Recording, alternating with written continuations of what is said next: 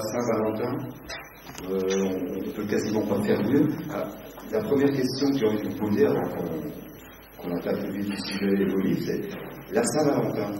Qu'est-ce que ça représente pour vous? Pour moi, ça représente pas grand-chose en fait. C'est le plaisir d'être ici. J'ai toujours sentiment que c'était une fête commerciale. Je suis vraiment désolée pour ma voix, ça doit être pénible pour vous. Mais. Euh, donc, euh, effectivement, voilà, je vois plutôt ça comme presque un thème de roman. C'est-à-dire comment entraîner euh, les gens dans une surconsommation et, et pourquoi pas des, des rendez-vous amoureux au restaurant qu'on peut faire toute l'année, en fait, qu'on peut vivre toute l'année. Donc, c'est pas très positif ce que je dis, mais c'est ce que je veux dire. Moi, je pense que si on s'aime tous les jours, on a pas Voilà. Saint-Valentin. Donc, euh, pas de cadeau pour la Saint-Valentin, ne faites pas. Non. C'est juste de se rendre compte qu'on est avec son amoureux et que ton... Ah si, alors si, quand même. Ce matin, je suis allée au marché. Ça doit être la première fois de ma vie pour la Saint-Valentin que j'ai acheté quand même des, des petits produits euh, d'ici qui, qui paraissaient très bien. Voilà, tout. Donc c'est bon pour le commerce strasbourgeois aujourd'hui. Alors, le thème, le thème, hein, ce que vous avez pu découvrir dans, dans les dépliants, comment sortir de la tristesse et de la, et de la mélancolie? Je pense qu'on va, on, va en parler, on, va y réussir, hein, on va pas, va pas ménager le suspense, on va en sortir hein, de la tristesse et de la mélancolie, on en a bien besoin.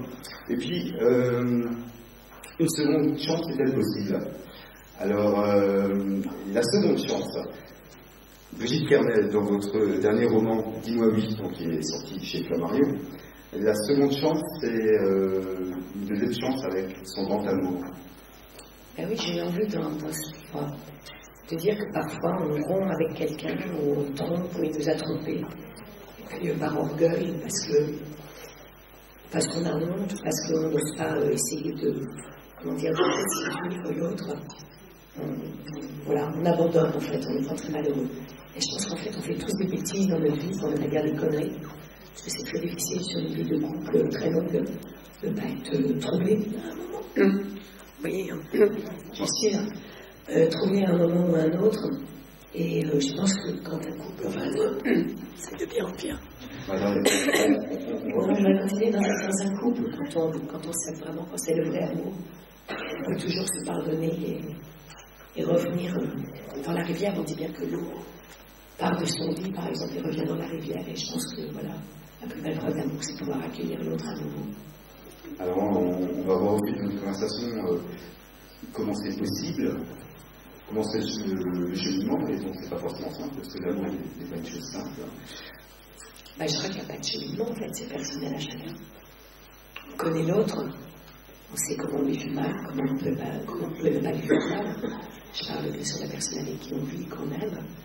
Euh, ma grande interrogation, c'est est-ce que quand euh, il y a une petite incartade, bout de 10 ans, 20 ans, est-ce qu'il faut dire, est-ce qu'il ne faut pas dire? Longtemps, j'ai pensé qu'il fallait le dire. Maintenant, je ne sais pas. Je mieux, le mieux c'est de rester euh, sage, moi, en fait. C'est facile. hein. J'ai fait quoi Puis j'ai envie de rebondir en disant que le pardon dans le couple, c'est une grande preuve d'amour. Bien sûr. Ça va parler un peu plus de ça. C'est très bien entendu. Alors, Agnès Lévy, on, on part avec lui. Donc, euh, votre dernier roman chez, Albin Michel, il, il s'agit aussi d'une seconde chance, mais alors c'est pas euh, la seconde chance euh, avec la même personne, c'est la seconde chance d'une autre vie. Oui, c'est c'est rebondir sur, euh, sur les difficultés et puis sortir la tête de l'eau.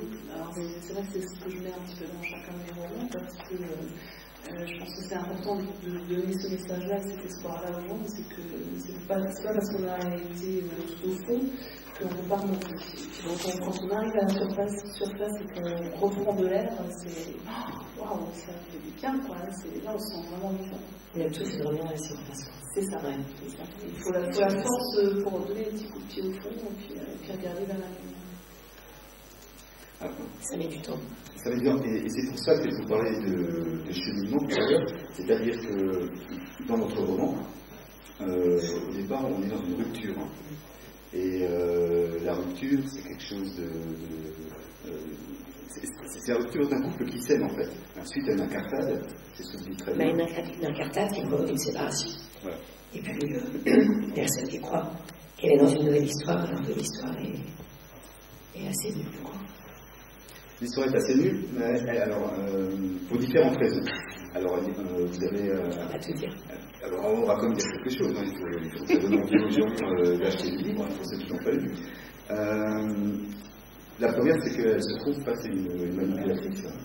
Et là, c'est un point commun euh, que vous avez tous les deux euh, dans votre livre. Et alors, est-ce que ce personnage de manipulateur et manipulatrice, ce qui fait assez plaisir quand on a un même, dans votre livre, mais vous, parce qu'on parle toujours, parce qu'on parle toujours de manipulateur. Ah, il y a. Voilà. Mais il y en a aussi, mais euh, on ne dit pas assez, peut-être. Mais peut-être que, l'apprécier, c'est vrai.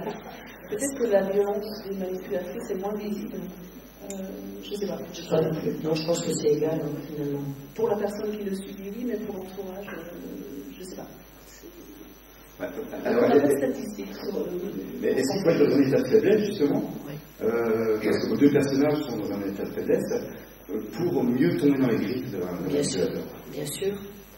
Il y a des failles, hein, la personne qui, qui est victime d'un manipulateur ou d'une manipulatrice, c'est c'est quelqu'un qui a des failles et ce manipulateur va les combler en fait. En- alors là, dans mon histoire, euh, et, et comme euh, c'est pas un vrai pervers narcissique, mais euh, euh, le principe c'est de remplir la personne de, belles choses, de, compliments, etc. Et pour, pour après aller puiser autour d'elle toutes ses forces et tout ce, tout ce qu'elle possède, pour la déposséder. euh, et, le manipulateur essaie de se remplir lui de la force de l'autre personne. Mais, euh, mais les manipulateurs sont aussi des personnes qui ont des grosses, grosses, grosses.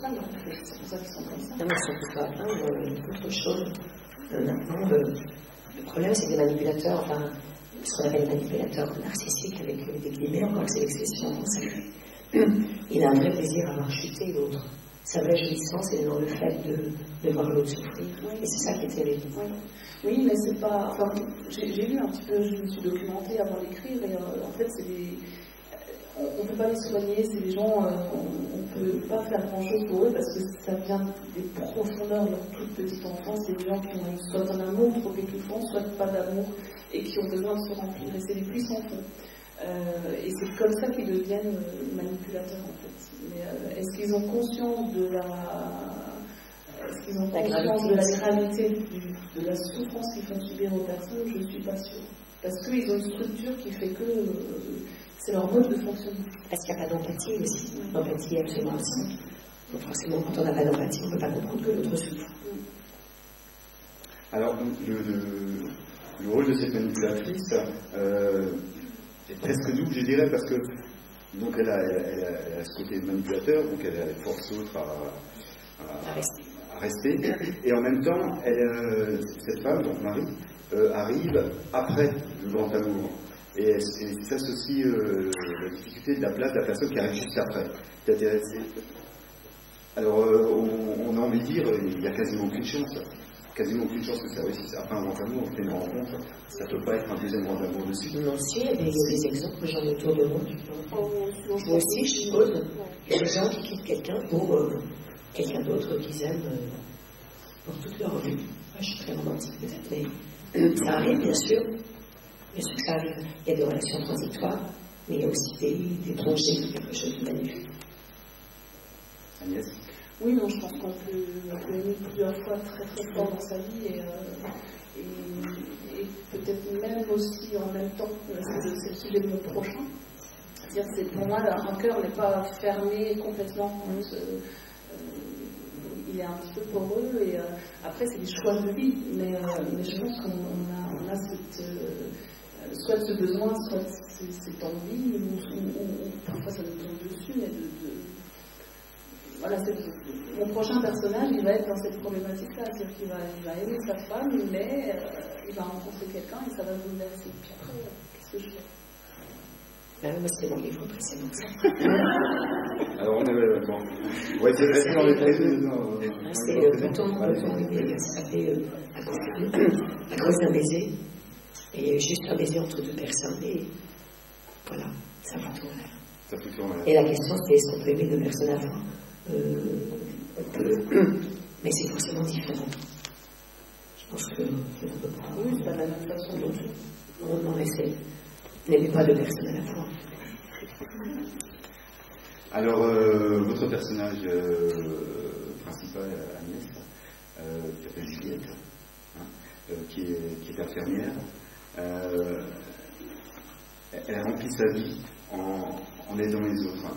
Elle a, elle a, est-ce qu'elle a rempli, est-ce qu'elle a rempli un vide affectif? Bah, je pense que c'est dans sa nature. De, de, oui, je pense que enfin, quand on fait du bien aux autres, on se remplit soit de, de, de l'image, enfin de, ce qu'on. C'est un miroir. Oui, c'est un miroir. C'est-à-dire que les gens qui ont de la reconnaissance pour ce que vous faites pour eux, euh, Euh, c'est très très fort dans, le, dans les métiers du soin. Euh, médecin, sage-femme, infirmière, etc.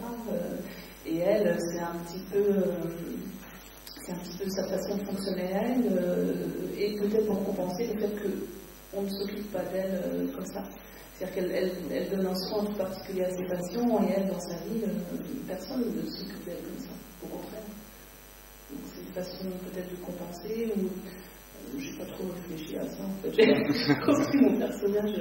C'est important pour moi dans la rencontre avec euh, Roméo, quelle qu'elle soit, comme ça, que, euh, ce soit une, des rares infirmières du service qui prenne la main euh, à son patient qui passe un petit peu de temps, parce qu'elle peut, pas toujours le cas, mais qui, qui, qui, ait cette vraie empathie, on parlait d'empathie, qui ait cette vraie empathie avec, avec lui, et, et c'est ça qui va l'aider lui à remonter la place. Parce qu'à un moment donné, quelqu'un lui a tenu la main et lui a donné confiance. Alors on, on, est toujours dans vos personnages, de, vous avez des personnages qui sont un peu cabossés, un peu fracassés, et qui, euh, font des rencontres finalement. C'est-à-dire que c'est, euh, c'est pas la famille naturelle, mais c'est la famille qu'on se crée. c'est la vie, hein. c'est la famille. Enfin, je sais, je sais pas, mais moi je beaucoup de rencontres et parfois ça accroche, parfois ça n'accroche pas, mais quand ça accroche et que ça accroche pas, il peut se passer des belles choses. Euh, et puis, euh, je crois que c'était pour le deuxième que j'avais donné cette image-là, mais c'est comme du velcro en fait. Hein, euh, c'est parce qu'il y a des, griffes, donc des, écorchures, que ça s'accroche. Si on est complètement lisse, ça glisse et puis on ne rencontre pas les gens. C'est une, image un peu tordue, mais. C'est ça, c'est parce qu'on a des souffrances, des écorchures, que qu'on va pouvoir accrocher avec les autres. Pas, ça n'est pas Dans votre euh, livre, il y a quelque chose qui m'a beaucoup amusé. Alors, euh, le livre, c'est une histoire d'amour euh, entre femmes. Et le, tout début, le, tout début du bouquin, une femme reproche à l'autre, mais tu ne jouis pas.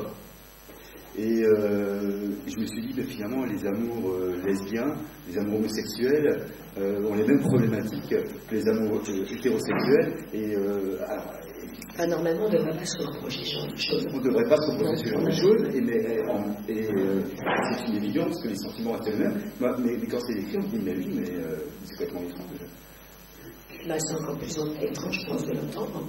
C'est pas facile à écrire. Mais euh, c'est des choses que. Moi, j'ai des amis, des copines, comme nous tous. Et euh, j'ai des gens qui m'ont confié ce genre de choses. Et je trouve ça terrifiant, quoi. Qu'on puisse en amour se, se balancer comme ça, ce genre de, de coup de sabre. Donc j'avais envie d'entendre te le dire.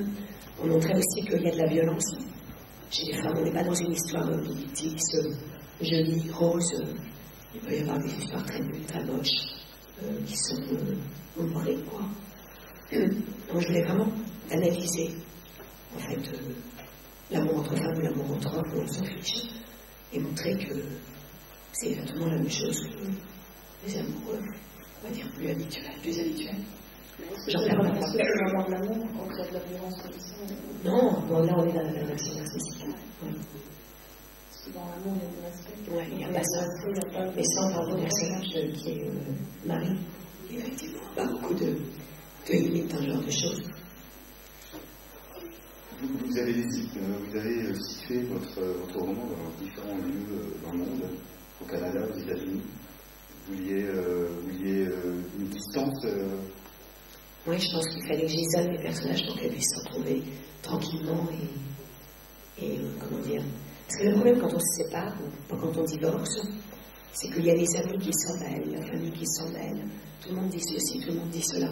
Et il y a un moment où si en imaginant que l'homme ou la femme ou les deux femmes les deux hommes puissent se retrouver, ça devient ben, impossible. Impossible. impossible. Ça devient impossible parce que, euh, le, comment dire, euh, ce qu'on appelle, entre guillemets, les cancans, les commérages, tout ça vient salir l'histoire. Et je pense que dans les histoires de divorce, moi j'ai vu des parents divorcés, j'ai vu des gens autour de moi divorcés, bien sûr. Il y a toujours, enfin très souvent, pas qu'elle passe 100% des cas, mais très souvent, des espèces de pics comme ça, qui viennent de l'extérieur, et qui finalement, qui finalement fragilisent encore plus euh, le couple, et ne lui donnent quasiment plus aucune chance. Voilà. Je me bien vous en raconter plus que je suis actuellement, mais oui, en fait, c'est euh, toujours les, euh, les, bons conseils euh, des amis qui ont leur, leur, expérience qui pensent qu'il faut faire comme ça parce qu'ils croient connaître l'autre. En fait, en réalité, on ne sait jamais ce qui se passe dans le couple. C'est vrai qu'on a toujours un ou deux vrais amis. Il n'y en a pas beaucoup, en fait. Ce sont des gens qu'on connaît depuis très très longtemps et qui osent dire les choses et qui voient.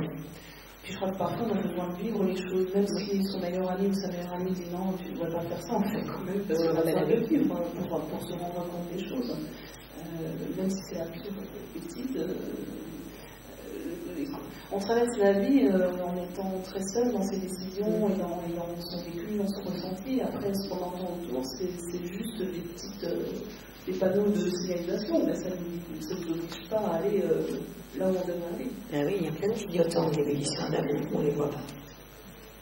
Le désir trompe tout. Le désir est quelque chose qui est extrêmement puissant au départ, et puis après c'est on quand on n'est pas vraiment amoureux. Donc euh, le désir, c'est un, stimulus en fait. C'est quelque chose qui nous fait croire qu'on est en train de tomber amoureux, mais c'est euh, souvent fou. Voilà, c'est comme quand on voit euh, un beau gâteau, on se dit, allez, envie de le manger. Et en fait, on n'a plus faim du tout. Quoi.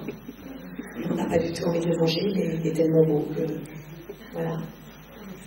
Et puis, c'est la gourmandise. La posteriori, on s'aperçoit, on se dit, effectivement, ça je l'avais vu. On, on sait en général, c'est ça. Et on sent, enfin, parfois on fait des choses dans la vie et on se dit je ne devrais pas le faire, ou il y a des petits clignotants, et, et, on le fait quand même. Parce qu'on a besoin de vivre, parce que le mental est plus fort, et pardon, il faut vivre cette histoire. Ah, le mental, là, c'est le corps qui. Ouais, oui, ça, non, j'appelle ça le mental, mais c'est pas. Non, c'est le corps qui. Euh, c'est le corps qui court, quoi. Et puis parce que tu as rempli des choses au fond de soi, euh, être aimé, euh, être aimé, ça fait du bien. Donc, euh, si ça arrive à un moment donné, euh, enfin, si d'autres vous renvoient une image positive de vous, euh, vous avez forcément envie de continuer à recevoir. même si on sent, et d'ailleurs, on en revient au pervers narcissique, dont quand je disais, elle disait, il faut vraiment, dès que vous sentez qu'il y a un petit truc de, même si paraît parfait, il y a des petites choses qui gênent un peu, il faut partir en cours. Parce qu'il y a ces petites choses qui ne sont pas parfaites. Et parce qu'on est averti maintenant parce que ça a été identifié, la narcissique. Mais euh, autrefois, il y en avait une dizaine d'années, on ne savait pas ce que c'était. Et donc, je pense que c'était beaucoup plus compliqué. Maintenant, euh, voilà, on en parle, euh, on voit des articles, on lit des articles dans les journaux, c'est sur les réseaux sociaux, donc on peut se méfier. les, les, personnes qui, victimes qui tombent dans ces griffes-là, et là je parle en tant que sage-femme, hein, parce que j'ai eu des patients dans ce cas-là, c'est des femmes qui ont besoin d'être aimées, besoin de ne pas être seules. Une grosse, grosse faille de côté-là. Donc, forcément, à un moment donné, euh, elles préfèrent euh, être mal accompagnées qu'être seules. C'est là qu'ils vont profiter. En fait. C'est là que c'est le truc. Ça vous fait peur. Non, mais je, Oui, ça nous est tous arrivé hein, de d'avoir affaire à un pervers narcissique, mais on ne sait qu'après, généralement. Non, c'est pas ça, ça donne des clignotants pour la suite. Oui. Ça s'appelle l'expérience et, euh, et, après on, on, on, voit un petit peu mieux les clignotants. Ah, on ne jamais dedans, je crois. Ouais, ouais, on se dit ah, ah, ça ressemble et puis je vais partir en courant tout de suite. Et surtout, ce qui est important, je trouve, c'est qu'il faut en parler parce que tout ce temps qu'on est ici, on peut un jour voir nos enfants, on peut voir euh, euh, quelqu'un de notre famille, euh, des amis rentrer là-dedans euh, et se laisser, comment dire, se laisser attraper, guillemets. Et donc, qu'en identifiant les choses, comme disait si en mettant un mot dessus, on est beaucoup plus euh, prompte à se battre contre ça et à enlever l'autre, à l'aider à lui dire euh, Mais s'il se passe ça, s'il se passe ça, si tu as l'impression qu'on te dit du mal de toi et qu'on te rabaisse et qu'en même temps on te dit que tu es excellent, c'est qu'il y a un problème. Donc si tu ressens une seule de ces choses, interroge-toi. Parce qu'il y a plein de signes qu'on avait, une fois qu'on les connaît, les signes, il suffit de bah, les donner. Quand vous allez sur Internet, tous les signes sont donnés et vous pouvez aider les gens autour de vous aussi. Il y a quelque chose qui m'a, interpellé euh, dans votre livre, Agnès, c'est votre équation qui explique l'attirance des corps. c'est quoi Alors, c'est quoi Je ne la donnais pas par cœur. Alors, donc, euh, on va la reprendre, hein, parce que c'est... Il va falloir que j'explique. Il va falloir expliquer, parce qu'on n'est pas, euh, pour moi, les, les mathématiques, ça n'a jamais été mon fort, et euh, je pensais que en littérature, ça allait mieux, mais bon, je vais vous laisser ça mieux que moi. Ah oui, c'est une conne. Ah oui, oui, mais bon, il fallait pas l'écrire alors. Donc c'est imagination plus onde vibratoire, plus manque fois envie au carré, moins culpabilité. Sur, donc là il y a le dénominateur, culture émotionnelle plus racine carrée, la peur de non-réciprocité égale désir. Ça veut rien dire en fait. Le refaire. Comment ça, ça veut rien dire? Non, mais. Imagination plus onde vibratoire plus manque fois envie au carré, moins culpabilité, divisé par la culture émotionnelle plus la racine carrée de la peur de la non-réciprocité, égale le désir. Voilà. Bah, c'est juste. Il n'y a, pas expliqué. Non. D'accord. J'avais envie de faire une formule mathématique, j'avais envie de mettre des choses autour de l'émotionnel. Je me suis dit, allez, je vais ça. Mais on n'a pas toujours des explications à ce qu'on écrit. euh. Moi, je, je, je, je me souviens quand j'étais au lycée, que vous avez des explications de texte en français. Euh, Aujourd'hui, maintenant, je l'ai- j'écris, je me dis, mais de quel droit on peut faire une explication de texte à la place d'un auteur C'est l'auteur qui sait ce qu'il a envie de dire et euh, pourquoi, euh, pourquoi on peut juger de ce qu'il a envie de dire. Parce que, je sais pas, je peux vous répondre, je peux- Parce que je pense qu'un auteur, il sait pas ce qu'il met dans son livre vraiment. Oui, mais pourquoi Je pense que- Non, mais je pense que la, la lecture euh, des autres est euh, meilleure que la lecture de l'auteur lui-même, finalement. Parce qu'on ne se rend absolument pas compte de ce qu'on est, il y a plein de choses inconscientes. On convoque des choses de notre famille, de notre passé. Par exemple, il est très courant, quand on écrit, d'avoir quelqu'un de notre famille qui se cache quand on fait un roman. Je lui dis, mais pourquoi tu, pourquoi tu dis ça sur moi Il dit que, mais t'es pas dedans. C'est vrai, t'es pas dedans. Ça arrive, ça arrive, ça arrive. On peut l'entourage Euh, non, mais c'est pas tout. Je t'assure, c'est, c'est, c'est moi. Et vous avez dit quelque chose qui est profondément défaveur du personnage. La personne va se plonger dedans. Donc on peut dire aussi que peut-être qu'inconsciemment, on a mis des choses sans le vouloir et en se censurant, parlent effectivement de quelque chose qu'on a constaté. Un sentiment, une ambiance, un caractère. Donc je pense qu'on n'est pas conscient de ce qu'on écrit. Et je pense que si on était conscient de ce qu'on écrit, euh, on n'écrirait pas. Je pense qu'il faut s'exprimer nos inconsciences quand même pour, euh, pour écrire, en tout cas quand on veut donner Oui, beaucoup. c'est c'est vrai que parfois je me Voilà, je dis, que choses j'ai ça. fait ça, euh, pourquoi j'ai écrit ça là, comme ça, de cette façon-là, mais j'ai pas d'explication.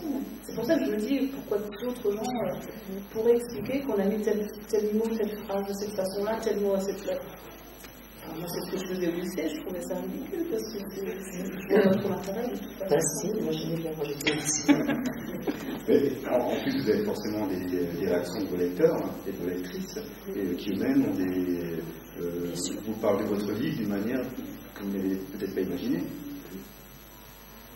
Et C'est c'est amusant parce que vous n'êtes pas d'accord. hein. Non. c'est pas grave. Non, au contraire, je réfléchis, euh, moi, on parle beaucoup d'émotions ou ressenti à la lecture, donc pas, dans, pas trop dans la structure en fait. Euh, c'est la première fois qu'on me pose la question d'équation.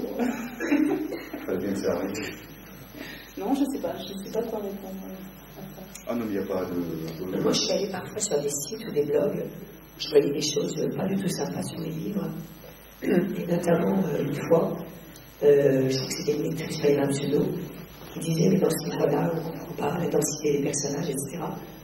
Et euh, bah, je trouve que la personne avait raison. C'était sur un autre livre. Et du coup, je l'ai plus creusé dans, dans celui-là. Parce que je trouve que la critique, est quand même, euh, même si ça fait mal sur le coup, c'est... euh, c'est bien positif. J'adore me rencontrer des lecteurs embryonnaux avec qui c'est plus ou moins sympa. Mais disent des choses qui nous permettent de, ben, de nous resituer. Quoi, de- On a besoin de bornes aussi. hein. Un peu comme le, on nous dit, euh, vous avez telle note en français ou en maths. Mais ça me donne des petites notes ici et là. Donc je trouve que c'est bien. Donc, euh, donc, en fait, vous écrivez différemment euh, au fur et à mesure. Non, c'est pas ça. C'est que ce que je veux dire, c'est que j'essaie de faire court pour, euh, voilà, pour ma voix. Autrement, je, je reste en gros. Euh, donc, ce que j'essaie de dire, c'est que on se positionne pas en, en pensant au lecteur. C'est qu'il y a un travail interne qui se fait, et au bout de X mois, de X années, il y a quelque chose qui a changé en soi, euh, dans la manière de traiter son sujet. Un peu comme on passe de la sixième à la cinquième, à la cinquième à la quatrième, etc sans savoir comment on a évolué. C'est exactement pareil que de livre À chaque livre, on progresse. Oui. Ouais. Oui, moi j'ai eu. euh, après, euh, il y a des gens qui vont. Les, critiques négatives, c'est toujours le contre.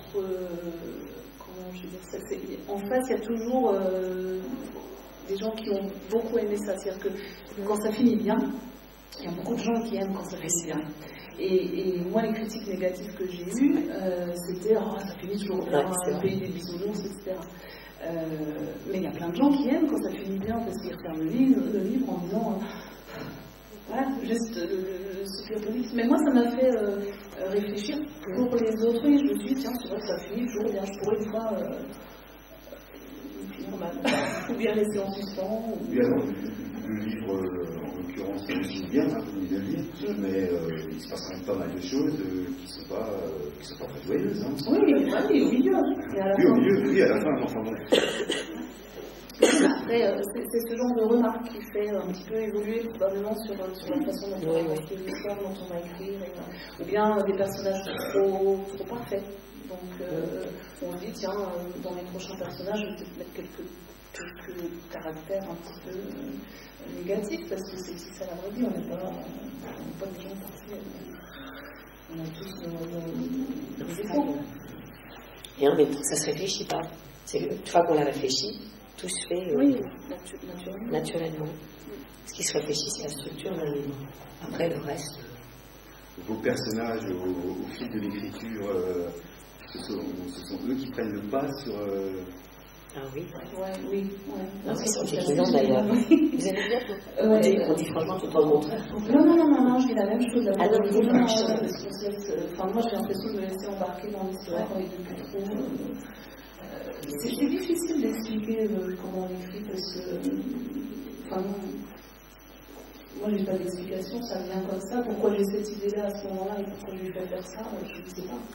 Après, dire que c'est les personnages qui prennent le pouvoir, ça reste un personnage euh, que nous, nous créons, mais mais il y, a- il y a des subtilités, euh, enfin, il y a des choses que je n'explique pas. C'est peut-être quand, on est en train d'écrire que tout d'un coup, ça, entraîne forcément quelque chose dans le chapitre suivant ou dans deux, trois chapitres après, mais, euh, mais ça vient comme ça sur l'instant. Mais on peut se faire entraîner. Il m'arrive de décrire, par exemple, 50 pages. J'ai un autre personnage qui est arrivé, je dis bien, je trouve sympa. quoi. Et je me rends compte à la lecture que c'est pas possible, c'est nul. Donc je coupe. Et euh, je pense que oui, on peut se faire embarquer parce qu'on a envie de se faire plaisir parfois. Alors qu'en fait, il faut être un peu dur avec soi, autrement, tout est bon, quoi. Il y a toujours un personnage qui entre, un décor, euh, une ambiance qu'on a envie de, de mettre, parce que c'est beau. On a l'impression qu'on fait de la littérature. Mais en fait, ça n'est pas. On est juste en train de se faire plaisir. C'est encore mieux. Oui. Si en plus on se fait plaisir. Dans, dans, dans votre roman, vous avez donc ces, ces deux femmes euh, qui sont séparées et euh, on, on s'aperçoit au fil de la lecture que donc elles s'aiment toujours à distance. Elles n'ont jamais de s'aimer, mais il n'y en a aucune qui le dit à l'autre. Il y en a toujours vu, enfin, votre, votre personnage principal dit bien, espère que l'autre l'aime encore, ou espère que ça marche pas très bien avec sa nouvelle compagne. Et en fait, oui, si on envoyé du mal dans ce voilà, il n'y cas-là. a que des. Moi, c'est que pourvu que ça marche pas, non, bah, avec pourvu que mon mari, sa nouvelle nana, ça marche pas. On n'est pas très gentils, les humains, parfois. Bon, bah, souvent, Oui, c'est vrai. souvent. Mais, Non, euh, pas toujours, quand même. Non, pas tous. Euh, elles, sont, euh, elles sont toujours amoureuses l'une de l'autre, mais finalement, elles, n'osent plus se dire, elles n'osent plus revenir. Parce qu'il y a de l'orgueil, on a de l'orgueil. Et donc, euh, par exemple, dans un divorce, effectivement, il dit des gens qui pourraient se réconcilier. Souvent par orgueil, on va dire écoute, non, mon chéri, tu m'as trompé avec ta secrétaire, euh, c'est fini quoi. Alors qu'en fait, on n'a qu'une envie, c'est balancer l'espateur, commencer l'histoire à zéro. Mais ça, bah, voilà, l'orgueil, c'est quelque chose de terrible. Et après l'orgueil, en imaginant que l'histoire se refasse. Et ça, c'est vraiment important, c'est le reproche. C'est-à-dire qu'à partir du moment où il y a du reproche, il n'y a aucune chance que l'histoire euh, se refasse, enfin, qu'elle peut se refaire, et qu'elle survive. Alors que y a son pardon, du pardon comprend l'amour, c'est une compréhension. Si on comprend qu'en fait, une, une rupture, ça se fait à deux, c'est qu'il y avait une faille, une micro-faille, qu'il faut corriger. Ben là, euh, voilà, les choses sont possibles. Et l'orgueil, c'est quand même très très mauvais conseil, l'amour, hein. très très mauvais. Oui, puis il y, a, des peurs aussi. Hein. Euh, si, on n'ose pas dire à l'autre qu'on l'aime, c'est parce qu'on a peur de se faire jeter. C'est ça, c'est ça. Peur de être aimé, on a toujours la même chose. Et mais enfin, si on devait aimer tous les gens qui nous disent un jour euh, euh, je t'aime ou je vous aime, ça serait. Ah parce que dans notre vie, ça nous est tous arrivé plusieurs fois. Pas du tout. Oui, oui, mais euh, quand on aime vraiment, si on a envie de vivre une histoire avec quelqu'un. Mais comme il y a le désir qui s'emmène, c'est ça le problème. Parce que le désir peut nous faire croire qu'on est vraiment un bon moment. Et qu'il y a un bon moment. Parce que là, c'est ça, entre les couples qui durent et les couples bah, voilà. qui durent. C'est pas ce Ouais. C'est pas une bonne chose de le dire finalement, je pense. Oui, ça c'est ça, ça. Non, mais c'est vrai que ça pousse tout. Ça pousse tout. C'est un peu nécessaire. Oui, c'est nécessaire, mais je veux dire, s'il y avait d'abord de l'amour, que le désir vienne après, finalement, c'est plus pratique pour tout le monde. Parce qu'on saurait tout de suite où nous donner. Ah oui, oui, évidemment. Mais ça serait trop, mais ça serait trop facile. Pourquoi Non bah, euh, on, on aurait plus de littérature. Ah, c'est ça. Et il y a quand même, autrefois, on disait les mariages de réseau. Moi, j'ai entendu mes grands-parents dire ça. Ils s'étaient vus une fois dans leur vie. Et c'était euh, la marraine de l'un qui avait euh, présent. Enfin, comme ça se faisait à l'époque. Elle était, elle était en 1900, ma grand-mère. Et, mon grand-père était beaucoup plus jeune, parce qu'il avait un an moins de moi. Ce qui leur paraissait. Ça, c'est une anecdote. Ils sont vus une fois et ils se sont mariés. Les deux marraines s'étaient mises d'accord. Et quand je parlais avec ma grand-mère, elle me disait, au début, je ne comprenais pas. Elle était jeune, elle avait 20 ans, quelque chose comme ça. J'avais peur. Je n'étais pas à l'aise, etc. Puis c'était cet homme qui était à côté de moi. Et puis bon, voilà, la vie conjugale, hein, l'homme, il ne va pas attendre plus 15 ans pour euh, consommer, c'est le mot, pour entrer à répondre à ce stimulus. Donc la femme, elle dire, euh, j'attends, j'attends, j'attends, quoi. Et elle me disait, et après, je l'ai aimé. Mais ça, j'ai la voix qui parle, mais ça m'aime aussi. Elle m'a dit après, je l'ai aimé parce que je l'ai, je l'ai connu. J'ai su qui il était. C'était, c'est pas des pleurs, c'est voix. Et c'était lui, quoi. Et je trouve que c'est magnifique. Mais pourquoi? Parce qu'en fait, autrefois, je dis pas qu'il faut faire ça, c'est juste un exemple. Euh, autrefois, il n'y avait pas de désir qui arrivait abrupt, exigeant, auquel on répond tout de suite. Il y avait cette attente. Et finalement, dans l'attente, euh, on apprend à connaître l'autre et à voir aussi euh, si ça peut aller ou pas. Finalement, quand on se rencontre et que le soir même, euh, allez, ok. Mais enfin, Ça passera, quoi. Enfin, pas pour en tout cas. Pas pour ce qu'on appelle le vrai. alors, il, y a ce cas précis euh, où effectivement les gens apprennent à se connaître et à s'aimer, mais il y avait aussi. C'est quand même. Oui, oui, il y avait, il y avait C'est un peu risqué. beaucoup, beaucoup, ça marchait pas du tout. Oui, bien sûr. Bon, j'ai. Mais la belle histoire, euh, le- l'exemple est beau. Oui, ben, ça marchait pas aussi terrible. On le voit dans les pays, euh, dans certains pays autour du monde, malheureusement, ouais. Mais euh, bon, voilà, moi, il se trouve que dans mon histoire familiale, il y a ça, donc euh, c'est pour ça que je suis un peu là. Mais la famille, c'est euh, c'est quelque chose de très important dans les, dans les deux romans. La famille, donc, il y a un personnage de mère qui est, absolument. Ah ouais, j'adore cette mère. Ah, est-ce qu'elle ressemble à la vôtre ou Ah, pas du tout. Non, non, il ne faudrait pas dire ça parce que elle n'a pas du tout compris comment j'avais pu euh, écrire la narratrice, parce que c'est au jeu. Et une mère pareille, vous imaginez. euh, Racontez-nous un peu le personnage de cette mère. Ma cette mère, c'est euh, une mère euh, totalement inconsciente mais extrêmement euh, amusante, qui, euh, se trimballe avec un panier puis euh, qu'elle a eu en Inde, à Auroville, qui est amoureuse d'un d'un homme qui s'appelle Richard, qui la trompe justement. Et chaque fois, elle a essayé de le consoler. Elle se confie à sa fille. Et les rôles sont très inversés parce que c'est la fille qui protège la mère, en fait. Donc sa fille l'écoute beaucoup, alors que sa mère ne l'écoute pas. Et, euh, mais cette mère, elle est fantastique. Par exemple, elle cultive du cannabis dans sa baignoire. comme elle est beaucoup en Inde, vous imaginez la tête de ma mère. Et, donc, euh, comme elle part beaucoup en Inde de voir son, amoureux, c'est la concierge qui vient entretenir les plantes. Il y, a de la, lumière, évidemment, derrière la concierge. Elle pense, excusez-moi, elle pense que ce sont des plantes euh, ordinaires, quoi. Mais ce que j'aime, moi, dans cette mère-là, c'est qu'en fait, elle aime sa fille beaucoup plus que sa fille, on imagine. Et je pense que j'avais envie de parler des parents et du fait que parfois on peut se sentir euh, insuffisamment aimé.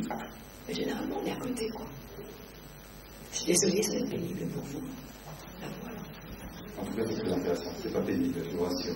Agnès, le, rôle de la famille, alors on en parlait un petit peu tout à l'heure, ce sont des familles qui se recompose, on va dire, mais pas dans le sens des remariages, mais les gens qui se rencontrent, des, des familles créent. Oui, parce que sa propre famille, on ne la choisit pas, alors que les amis, on la choisit. Et ça, c'est un luxe incroyable, parce que le choix, ça implique euh, de choisir ce qui fait du bien, ce qu'on recherche. Euh, après, euh, après il y a des familles il y a une très très belle relation aussi. Malou avec, sa petite fille elle entretient quelque chose de très très joli.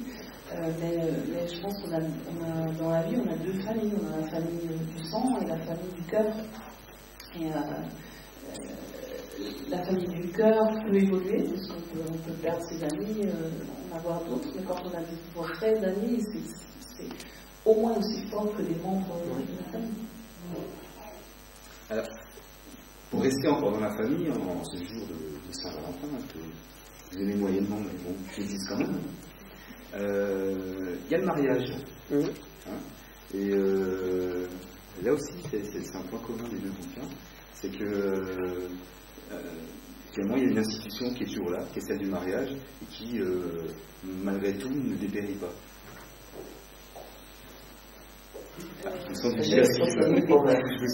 Je ne vois pas trop. parce que pour Juliette ou. Oui, en général. En général. En général, euh, Qu'est-ce que je peux dire sur le mariage Moi, je cherchais une belle institution, le mariage. Pendant longtemps, je trouvais que c'était un peu, le, comment dire, un peu Est-ce que, est est que, finalement, c'est la continuité d'amour, finalement euh, C'est la construction, c'est l'engagement. Ouais, je ne sais pas si on a besoin de mariage pour, euh, pour euh, enfin, pour euh, prouver, pour construire l'amour, je ne suis pas sûre. Moi, je connais des couples qui ne sont pas mariés et qui sont depuis très très longtemps ensemble. Mais c'est symbolique. C'est symbolique. Euh, c'est vrai que le mariage euh, devant une assemblée, là, sa famille, ses amis, euh, c'est une façon symbolique de dire ben, on s'aime et on crie au monde entier. Mais euh, après, euh, ouais, je, je, je, je ne sais pas quoi dire. Euh, je sais pas, moi j'ai eu plusieurs périodes dans ma vie, des périodes où je me disais, faut pas se marier, des périodes où je, j'en rêvais, c'était fabuleux, etc. Et au bout du compte, euh, moi j'aime bien les symboles. J'aime bien l'idée qu'on peut, peut se marier, qu'on peut construire, qu'on peut partir pour un, pour un long voyage. Donc, euh, en ce moment, peut-être que je vous dirai dans longtemps que mais je ne crois pas. Non, je crois en fait que je pense définitivement. Et euh, c'est un magnifique symbole. C'est comme par exemple, euh, on est, on est croyant ou on l'est pas. On a été éduqué dans une religion. Moi, j'ai été éduquée dans la religion catholique, je ne suis pas pratiquante. Ben, ça n'empêche que je suis contente d'avoir été baptisée, vous voyez, par exemple. C'est étrange parce que c'est le symbole et c'est l'appartenance à quelque chose qui est plus fort que nous, finalement, qui existe ou qui n'existe pas. On s'en fiche. On s'en fiche pas. Je trouve que c'est important de. C'est presque une racine aussi. Oui, après, c'est le symbole d'un mariage.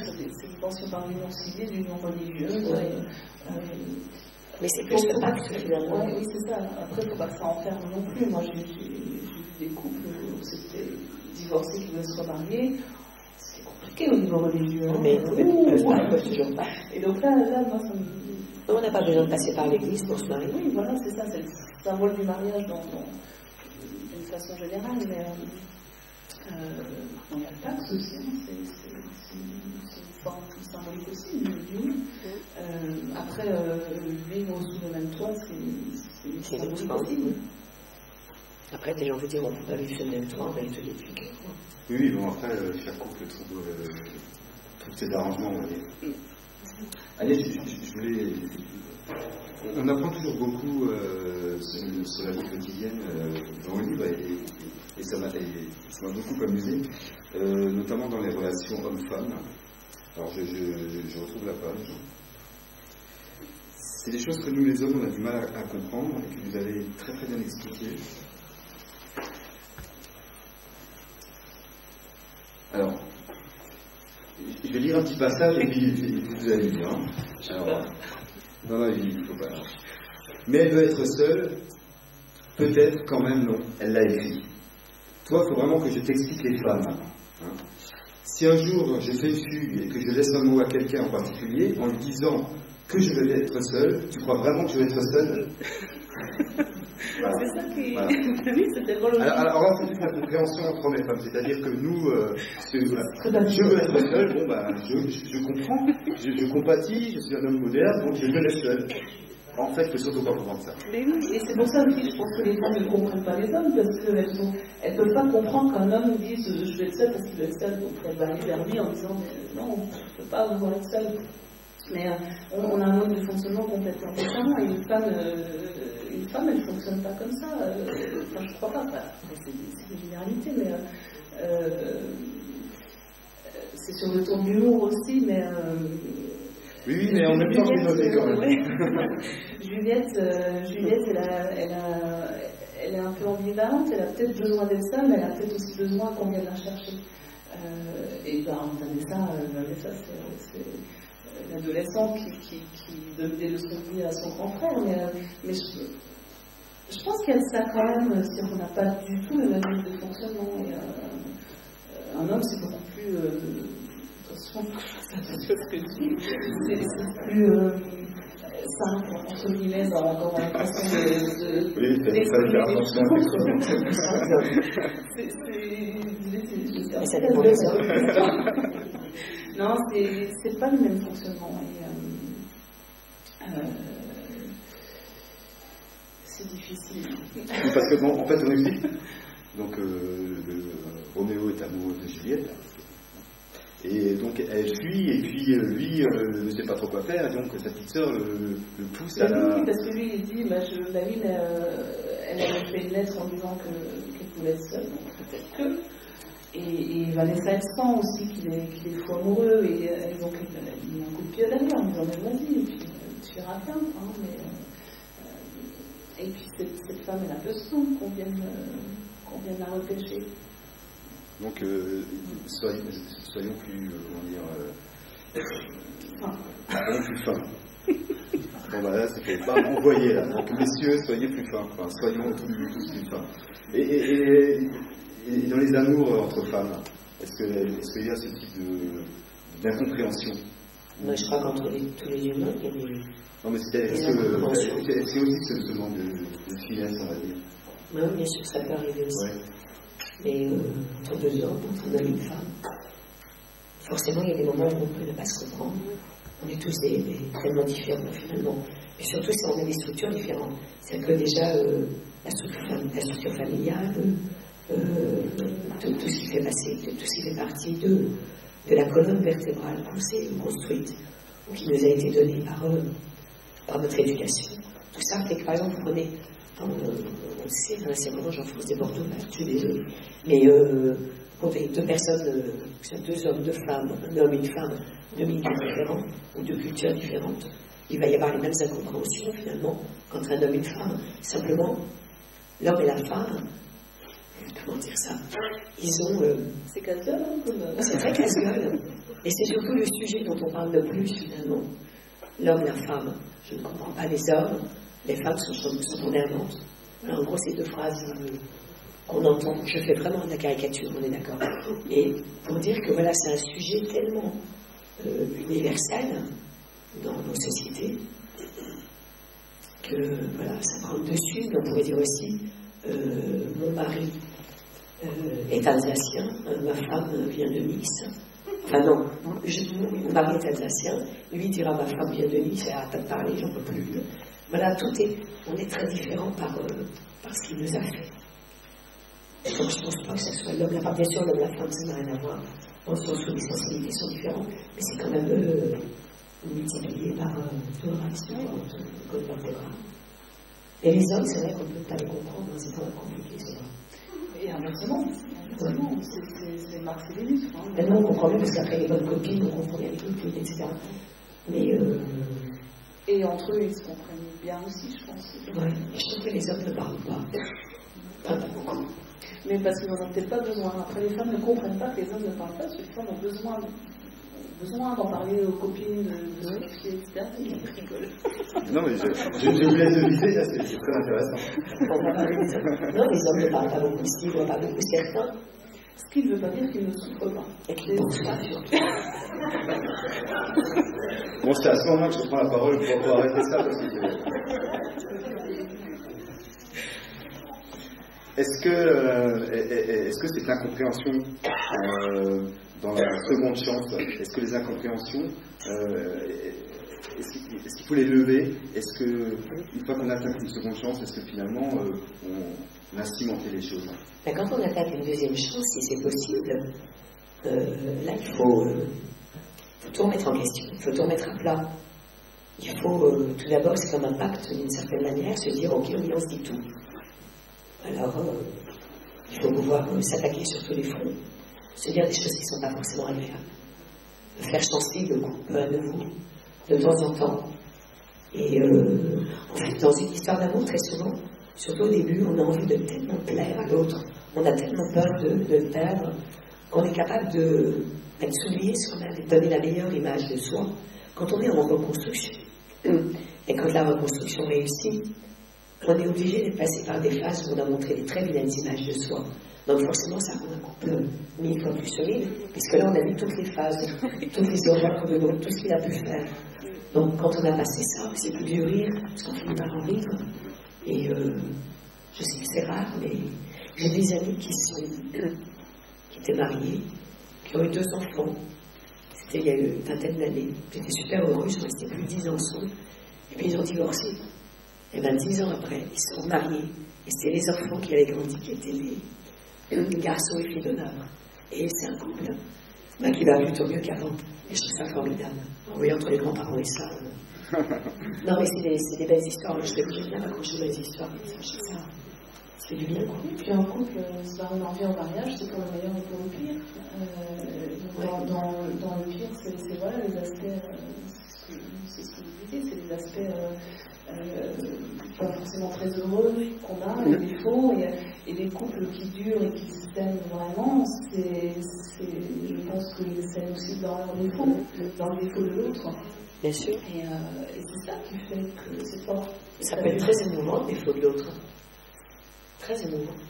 Bon, on va pas ronfler tout ça, ça c'est pas émouvant, mais il y a plein de choses qui sont émouvantes. Ça me fait rire, oui. Vous disiez au début de l'intervention euh, que euh, il faut peut-être pas. Est-ce que je dois te dire si j'ai trompé si j'ai trompé? alors, dans, la, dans, la, deuxième phase, dans, dans, la deuxième chance, on est dans une relation qui est plus de confiance, forcément, puisqu'on s'est dit les choses. Alors, est-ce qu'on dit tout quand même Ah oui. Là oui. Là oui. Là oui. Moi, je conseillerais à tout le monde de rompre pour euh, revivre l'histoire avec euh, la personne qu'on aime parce que ça donne quelque chose de beaucoup plus solide.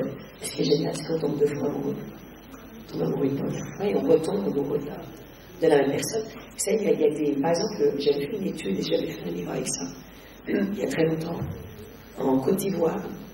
L'homme et la femme, chez les Baoulés principalement, et ça existe encore aujourd'hui, l'homme et la femme se marient, ont des enfants. Et une fois par semaine, ils ne dorment pas ensemble ils ont ce qu'on appelle un amant de l'au-delà.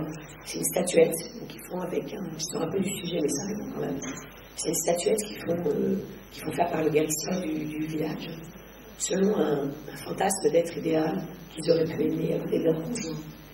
Et c'est personnel, si tu les crois. Ils dorment avec cette statuette. C'est symbolique. Mais ça fait beaucoup réfléchir. Parce qu'on se dit, voilà, une fois par semaine, Ils sont juste dans quelque chose, ils peuvent dormir tout seuls, ou ils peuvent, ronfler, c'est pour bien sûr, mais ils peuvent dormir tranquillement, ils peuvent euh, ne pas dormir, ils peuvent rêver. Ils ont cette permission. La statuette n'est qu'une, comment dire, qu'un symbole, mais qui montre qu'effectivement, on peut avoir quelqu'un en fantasme dans la tête, à côté de son couple. Mais finalement, si on se permet juste d'avoir le fantasme, et puis de ne pas vivre, vivre avec le fantasme, ce qu'on présente c'est la statuaire, chez les baronnies. Mais finalement, le, le couple va beaucoup mieux aussi. Parce que bon, s'interdire de vivre des choses, on va en vouloir à l'autre. S'il y a quelqu'un qui nous plaît au bureau ou autre, je parle des couples qui sont vraiment euh, sur une longue durée. Hein. On est troublé par quelqu'un. C'est très humain. On est juste dans la vie. Parce que quand on est mort, on n'est plus troublé par rien. Donc, euh, oui, on peut être troublé. Après, on peut aussi, je pense qu'il vaut mieux se mettre en retrait de ça et faire au-delà. Mais le trouble n'est pas une chose désagréable, la séduction non plus. Après, euh, voilà, c'est vrai que si on va pas mettre en jeu son couple pour. Euh, mais c'est agréable d'être séduit et de se sentir euh, séduite. Voilà. Pourquoi je voulais pas Mais c'est parce va se permettre le, se permettre le jour par semaine. 10 heures de Agnès moi, je pense qu'il y a une notion de port d'attache. Euh, j'aime bien cette image-là, c'est qu'on est, on est, on peut être en bateau euh, avec l'envie d'aller euh, d'aller naviguer, d'aller voir d'autres îles, mais il y a un port d'attache, c'est celui-là qui est, le plus fort, le plus important, qui est sécurisant, qui vous met à l'abri. Voilà, c'est juste une image. Hein, moi, j'aime pas trop l'idée de sécurité. Moi, j'ai vu, voilà, comme nous tous, on avait beaucoup de couples qui restent ensemble pour la sécurité. Euh, Alors, ça, ça, ça, ça, non, non, c'est ah, la sécurité-là, c'est c'est la sécurité de l'échange fort et de l'amour. Enfin, pas la sécurité matérielle, non, c'est tout ça. Oui, c'est pour l'échange. Euh, on s'en fout de la sécurité matérielle. Malheureusement, il y a bien de la sécurité sentimentale. Ouais, mais non, c'est pas, pas de ce ordre-là, la sécurité sentimentale, c'est. C'est pas ce que je voulais dire, c'est l'amour de Quand on aime quelqu'un, c'est cette personne-là, puis un jour on se retourne, on est devenu âgé, puis on se dit, on se dit oui. Ce qui serait dommage, c'est de se retourner en se disant, euh, bah, j'avais tellement celui-là euh, il y a 35 ans, et finalement c'était le bon, et c'était peut-être le bon. C'est beau tout ça ça laisse beaucoup d'espoir dans l'amour quand même. Oui, oui, heureusement. De toute façon, il faut l'amour, c'est ce qu'il y a de mieux. L'amour, c'est ce qu'il y a de mieux, mais euh, les histoires sont compliquées. Est-ce qu'on se complique la vie dans l'amour finalement? Est-ce que la vie est compliquée, mais est-ce que, est-ce que on ne devrait pas plus lâcher prise? Est-ce qu'on est toujours dans la complication de montrer la meilleure image de soi alors qu'on euh, mais oui, ça c'est terrible. Je crois que pour que ça dure, il faut de la simplicité beaucoup de simplicité, du respect, du partage, de la simplicité. Euh, les couples trop fusionnels, ça ne fonctionne non plus. Chacun a besoin de partir dans, dans ses propres euh, dans ses propres euh, avec ses statuts bah ses propres plaisirs, passions, On n'est pas obligé de tout partager pour s'aimer. Mais il faut quand même une base commune. C'est ça l'amour dans le couple. Il faut quelque chose, c'est ça la sécurité, c'est le, le socle de base du couple. Après, euh, après, on peut ne pas être sur la même longueur pour certaines choses, mais il y a quand même ce socle de base. S'il est, est, trop, trop petit, on ne tient pas. Et puis il y a ce qu'on a construit ensemble aussi. C'est quand même magnifique ça. Le, comment le fait de, de construire, d'avoir des enfants, d'avoir des projets. On est dans le projet en couple, c'est bon quoi. Alors, il va bientôt être l'heure de conclure. On va vous interroger. Donc... Encore un petit peu de temps. Oui, mais je pense que chacun, euh, chacun peut se reconnaître et puis peut, peut, peut dire oui, ça c'est vrai, oui, ça c'est pas vrai. Euh, chacun a vécu des histoires d'amour et. Euh, mais monsieur qui parle de Non, mais il est très euh, La question c'était finalement une seconde chance est-elle possible ben, toujours, bien sûr. S'il y a de l'amour, oui. ça, c'est une conclusion euh, un peu trop rapide à mon goût. Hein, ça, je m'en sors pas. Si, si, on dit qu'il n'y a pas de seconde chance possible, quoi bon toujours, toujours dans, dans, tous les domaines, dans l'amour, dans le, dans le travail, dans, dans, dans la vie. Donc dans la maladie et la mort. Bon, c'est, mais c'est vrai, tant qu'on est vivant, euh, tout est possible. On ne sait même pas ce qu'il y a après, donc euh, c'est une seconde chance. Une seconde chance, oui, bien sûr. Oui, bien sûr, une seconde chance, c'est possible. Mais c'est positif. C'est heureux.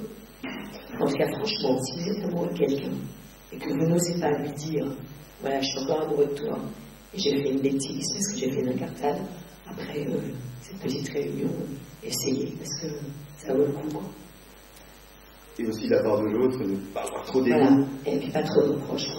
Mais dans les couples même qui ne, se, qui ne se sont pas trompés et autres, le reproche c'est quand même un tu, tu l'amour. Donc, euh, essayez de se comprendre. L'amour, ça comprend de l'autre aussi. J'ai l'impression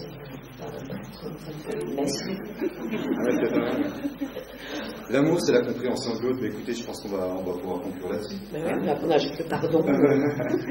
Alors, je, je, je rappelle euh, les livres. Donc, Agnès Delis qui part avec lui, chez Albin Michel. Et Brigitte Carnel, dis-moi oui, chez Flammarion. Euh, vous allez pouvoir retrouver euh, les deux auteurs en signature au fond de la salle. Et on veut toutes vos histoires d'amour. Comment Ah oui, peut-être des questions, mais alors, euh, alors, on, m'a dit pas trop de questions parce qu'il euh, y a du monde et il y a encore. Non, mais c'est plus discret voilà. Et puis, certainement les histoires d'amour et les, les expériences, il vaut mieux les partager comme ça, discrètement. Là, justement, vous, par exemple. Ah bon, on aurait dû commencer par ça parce qu'on aurait eu une heure et ça aurait peut-être suffi. Mais là, malheureusement. je ne peux pas vous laisser. C'est pour un homme, une seconde chance est possible en amour. Si sa femme le trompe, parce que là on a parlé de son. Est-ce que vous lui donnez une seconde chance? Écoutez, j'étais très dubitatif euh, avant de venir, mais euh, grâce à vos précieux conseils, j'ai dit oui. Alors merci à tous deux. Merci beaucoup euh, Brigitte. Hein, vous avez vraiment donné beaucoup de vous-même. Hein. Et, c'est je suis super bavarde, mais euh, voilà, c'est dommage parce que j'avais bien mis en fait un peu plus. Merci Agnès. Merci, euh, merci beaucoup d'être venu aussi. Non, merci. Et euh, merci à toute l'équipe de bouquins qui a, qui, qui a monté cette, cette manifestation. Et merci à l'équipe de François Woltermann pour l'accueil. Merci, merci à vous aussi d'être.